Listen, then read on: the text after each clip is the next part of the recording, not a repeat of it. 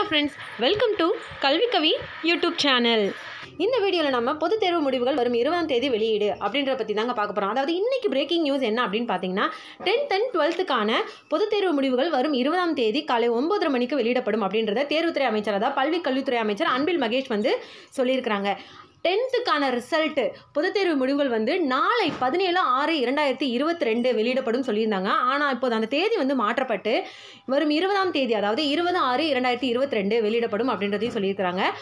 பன்னிரெண்டாம் வகுப்பு அதாவது டுவெல்த்துக்கான பொதுத் தேர்வு முடிவுகள் வந்து இருபத்தி மூணு ஆறு இரண்டாயிரத்தி இருபத்தி ரெண்டு வெளியிடப்படும் அப்படின்னு சொல்லியிருந்தாங்க. இப்போது அந்த தேதி வந்து மாற்றப்பட்டு வரும் இருபதாம் தேதி அதாவது இருபது ஆறு இரண்டாயிரத்தி இருபத்தி ரெண்டு அன்றைக்கி தான் வந்து வெளியிடப்படும் அப்படின்றதையும் வந்து தேர்வுத்துறை வந்து சொல்லியிருக்காங்க. அதாவது டென்த் அண்ட் டுவெல்த்துக்கு ரெண்டு பேருக்குமே ஒரே நாளில் தான் வந்து ரிசல்ட் வந்து வெளியிடப்படும் அப்படின்றத சொல்லியிருக்காங்க.